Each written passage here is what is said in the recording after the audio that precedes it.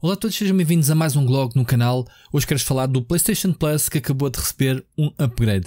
Eu não sei se isto é a resposta da Sony à questão do Game Pass da Microsoft, tem vindo a ser falado há algumas semanas, alguns meses, que a Sony iria responder, digamos assim, entre aspas, à oferta do Game Pass, que tem sido cada vez mais bem sucedido, sobretudo reforçado com os estúdios que a Microsoft tem andado a adquirir, adicionar cada vez mais títulos, jogos que estreiam no primeiro dia no Game Pass, tal como estreiam nas lojas, e isso é o serviço diferenciador que a Microsoft oferece. Pois bem, a PlayStation revelou hoje então os seus planos para o futuro.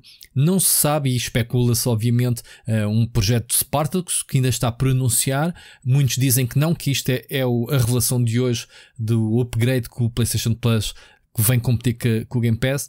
E se for esse o caminho, não é este o caminho que a gente queria, como jogadores, obviamente. Uma resposta da PlayStation, da Sony, uh, em relação à oferta do Game Pass.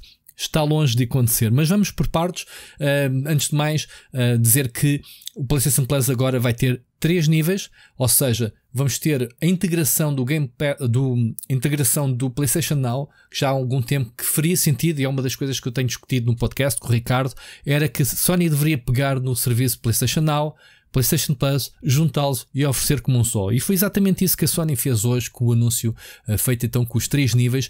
O primeiro nível custa exatamente o mesmo preço do PlayStation Plus e chama-se PlayStation Essential, tudo o que oferece até agora, seja a possibilidade de jogarem online, o acesso aos dois ou três jogos para a PlayStation 4 e PlayStation 5 que oferecem mensalmente, uh, sei lá, descontos, a possibilidade de gravar os vossos saves na cloud, enfim, tudo aquilo que vocês têm acesso ao PlayStation Plus. Se não quiserem saber deste upgrade, é este o serviço que vão manter, que vai continuar a custar, obviamente, 8,99 euros mensais, 24,99 por 3 meses e a anuidade, se optarem por tal, 59,99 euros. Portanto, este é o primeiro tier, é o tier básico do PlayStation Plus, é aquilo que a gente já conhece, não há nada de novo neste nível. Segue-se então o segundo nível, uh, chamado PlayStation Plus Extra, portanto, que inclui todas as vantagens do primeiro nível uh, e adiciona um catálogo de 400 jogos selecionados uh, PlayStation 4 e PlayStation 5. Portanto, há aqui uh, jogos exclusivos da PlayStation, mas também há third parties que podem ser adicionados a este catálogo. Portanto, estamos a falar de 400 jogos curados, jogos de catálogo, não são novidades, portanto, é isso aqui é um ponto diferenciador. E isto é basicamente o, o tier ou o nível que é nem a carne nem a peixe. Portanto, é o PlayStation Plus reforçado com jogos, mas não têm acesso à possibilidade sequer de jogarem em, em cloud, portanto, em streaming, como se estivessem no PlayStation Now. Isso sim está reservado para o terceiro nível, mas já lá vamos. Este segundo nível, PlayStation Plus Extra, custa então uh, 13,99 euros, portanto custa mais um bocado, uh, custa cerca de uh, 5 euros a mais que feitas as contas, 9, 10, 5 euros a mais que o, o, o tier normal, o primeiro nível. Uh, se quiserem então aceder a estes jogos, não foram anunciados quais foram os jogos especificamente, provavelmente uh, quando o serviço arrancar. De lembrar que a Sony vai lançar o serviço em junho, mas vai ser faseado, portanto em todos os territórios onde a Sony tem o PlayStation Plus e o PlayStation Now, vai começar em junho uh, na Ásia, portanto, em alguns países da Ásia, depois vai para os Estados Unidos, depois vem para a Europa e por aí fora. Portanto, não esperem já em junho ter este upgrade. Uh, eu perguntei à Sony uh, Portugal se tinham ideia de quando é que o serviço ia estar disponível em Portugal. Não há ainda uma resposta, portanto, a informação que existe é esta. A partir de junho vai começar a ser faseadamente, não sabemos faseadamente durante meses, se vai ser semanas, uh, chegar então aos vários territórios mundiais. E então, este segundo, uh, este segundo custa então 13,99 como eu disse, 39,99 se optarem por 3 meses e uma anuidade de 100 euros, 99,99 se optarem então por um ano. Por fim, temos então aquilo que se esperaria, que é uh, a fusão pura e dura do PlayStation Now com o PlayStation Plus, portanto, Todas as vantagens dos dois níveis anteriores serão aqui aplicados e inclui ainda mais 340 jogos, portanto 344, uh, 340 jogos que incluem títulos da PlayStation 3, um, PlayStation 2, PlayStation original, a PSP. Portanto, é o catálogo da PlayStation Now que temos agora disponíveis.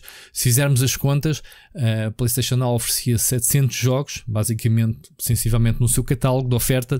O que a Sony fez foi repartir é pelos dois tiers, portanto, 400 jogos para o tier 2, mais 340, portanto, o acesso a 740 jogos uh, no tier 3, só optarem então por este nível mais, um, mais caro do PlayStation Plus, que custa uh, sensivelmente uh, 16 euros e 99 euros, portanto, uh, 17 euros, 49,99 se optarem por um passo de 3 meses e tem uma anuidade de 120 euros. Uma diferença de 20 euros, digamos assim, entre esta e outra, e penso-me que seja mais vantajoso, obviamente, bem mais caro, no seu geral, comparado com o PlayStation Plus original, é quase o dobro. Então, a, a diferença, além dos jogos, é que podem então jogar toda a oferta que eles têm aqui do, do, catálogo em cloud ou por transferência. No nível 2, todos os 400 jogos apenas podem fazer o download, instalá-los e jogá-los. Aqui podem então desfrutar do serviço em cloud, que é obviamente a vantagem do PlayStation Now, sempre foi o, uh, a oferta diferenciadora, digamos assim, em relação ao Plus. Portanto, esta é a resposta.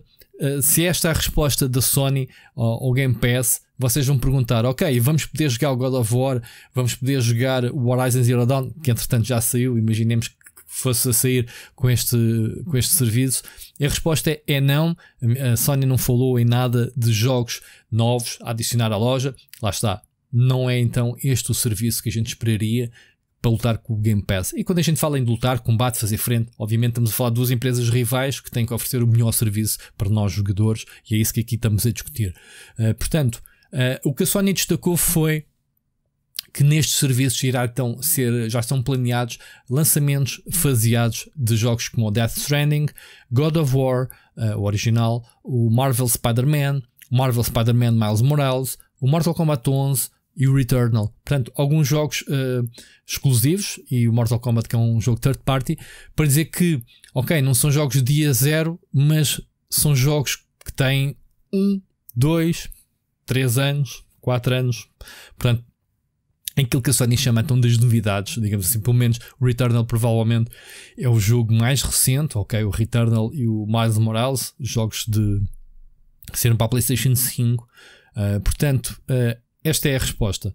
Portanto, esta é a fusão dos dois serviços. Uh, a PlayStation também avisou que o pessoal que tem PlayStation Now migra automaticamente para o tier um, mais elevado, portanto o equivalente ao PlayStation Now, que é o tier mais caro, portanto o, o Premium, portanto sem qualquer um, valor adicional a pagar, o que me parece obviamente justo. Obviamente, se eu estou a pagar um serviço que deixa de existir, porque o, o PlayStation Now acabou a partir deste momento em que entrar em, em rigor, uh, vai estar disponível nos países onde há o PlayStation Now, Portugal inclusive, e o PlayStation Now, como conhecemos atualmente, deixa então de funcionar. Se quiserem PlayStation Now, têm que pagar então este tier mais caro.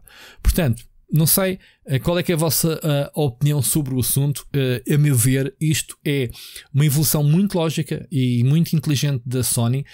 Não vou discutir preços porque lá está, uh, isto é sempre tudo muito caricato, estes serviços, o preço dos serviços é, é, sempre preciso do PlayStation Plus para quê? Para receber os jogos à borla mensalmente? Há muita gente que sim, porque há jogos bem porreiros, apesar de não serem grandes novidades. Uh, ainda para o próximo mês fala-se de, ainda não está confirmado oficialmente, mas fala-se do novo SpongeBob, o, o Hood, Outlaws and Legends e o Slay the Spire. Ah, são jogos ok, têm sido jogos melhores, outros jogos uh, menos maus, mas são bordas que as pessoas que não têm a capacidade de comprar sempre jogos ou não estão, uh, não, não querem saber das novidades, querem é jogos para poderem se entreter, é um serviço válido, obviamente, para oferecerem. Se há pessoal que paga o PlayStation Plus só porque é obrigado para jogar online, ok, também tem a versão básica e fica tudo na mesma. Quem quiser mesmo o PlayStation Now, aí sim vai ter que pagar uh, um serviço que é mais caro, uh, bem mais caro, aliás, mas aquele pessoal que esperaria que íamos ter um serviço da Sony igual ao Game Pass, não é desta vez. Vamos esperar para que a uh, Sony agora reaja. Obviamente, não sei se há críticas, se não há. Ser isto que se esperaria do Game Pass, esqueçam, não é a questão. Uh, nem sequer critico, porque uh, isto, a Sony e a Microsoft têm posições muito diferentes. Obviamente que a Microsoft é quem procura, obviamente, ir atrás do prejuízo da indústria. É, é a Microsoft que precisa mandar a, mandar a tal pedrada no charco para mudar isto. E viu nos serviços, que eu acho excelente, no Game Pass, a forma então de chegar a mais jogadores independentemente da plataforma, se estão no PC, se estão na PlayStation, uh, desculpem, na PlayStation, na, na Xbox, se estão uh, no mobile, através do seu serviço de, de, cloud gaming.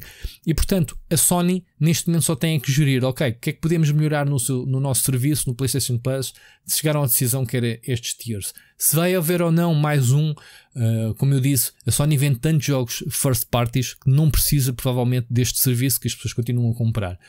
É um exercício curioso, ainda ontem falámos isso num podcast, o que é que seria, uh, o, o, que é que seria então os planos da Sony, uh, e o Ricardo defende muito bem que a Playstation não precisa de um serviço como o Game Pass, e está tudo bem, obviamente a indústria uh, é mesmo assim, vamos só ver se a Sony se fica por aqui, se o tal Project Spartacus se materializa, se não passou de um rumor, se é mesmo verdade e em que moldes isso vai acontecer. Se acontecer um Game Pass, imaginemos, no, da PlayStation, qual é o preço a pagar para ter acesso aos jogos então grandes lançamentos no primeiro dia, gratuitamente no serviço? E é isso. Pessoal, digam nos comentários o que é que vocês acharam desta notícia, se é isto que esperariam, se faz sentido ou não toda esta transformação do PlayStation Plus. Se não querem saber e continuam com o Tier 1 na mesma e amigos como sempre, ou o que é que vocês acham então de, de, da hipótese de haver então o Project Spartacus que seja então igual ao Game Pass da, da Xbox. Digam nos comentários, não se esqueçam de deixar aquele like para apoiar este vídeo. Obrigado por assistirem e vemos no próximo vídeo. Um grande abraço.